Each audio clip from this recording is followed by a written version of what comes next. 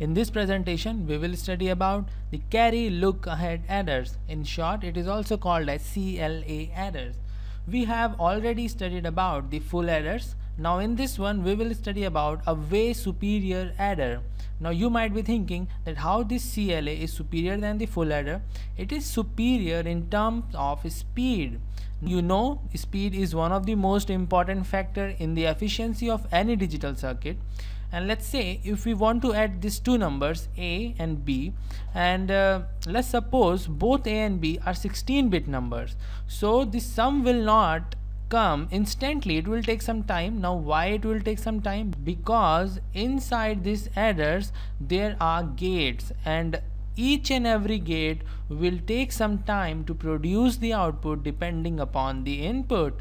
Now this time is called as the propagation delay okay? The propagation delay of the sum and carry is different and we are more concerned about the propagation delay of your carry. Why? Because let's say in this adder once you are having c in a3 b3 you are having your sum okay?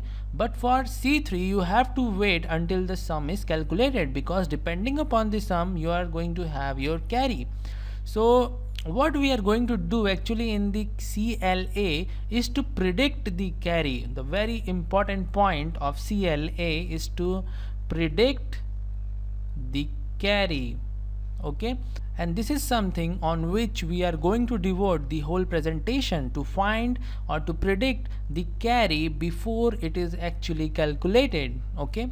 So we will start from this table truth table a familiar truth table for you.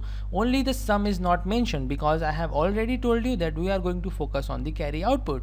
So what we are going to do in this truth table is to see when the carry output is 1 or high and do some analysis okay? Everything is hidden in this truth table. Only you need eyes to see them.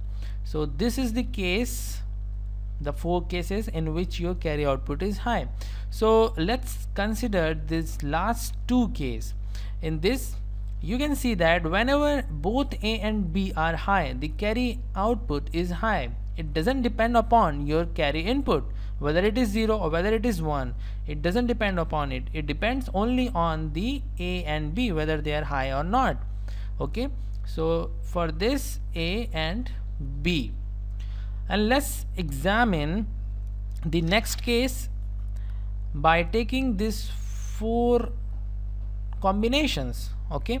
And um, if you can see then this case is your odd ones detector.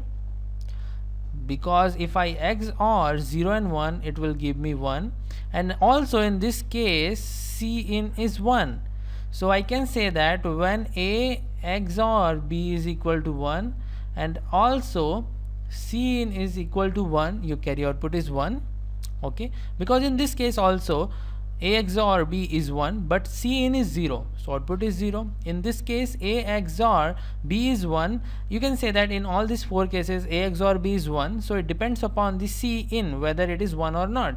So whenever it is 1 the, like in this case the C out is 1 and also in this case. So what I can write I can write C output as A and B or this thing A XOR B and C in okay? This is we just evaluated from our truth table. Now there are some terminologies involved with this expression. Let me explain you that. This part we call as carry generator. And this part we call as carry propagator.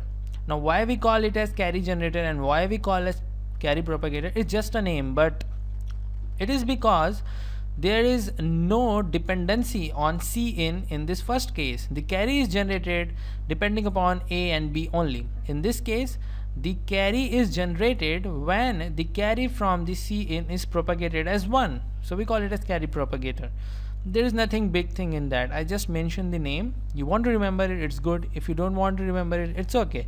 It's just help us to recall that we call it G this part we call it G and this part we call it P depending upon generator and propagator.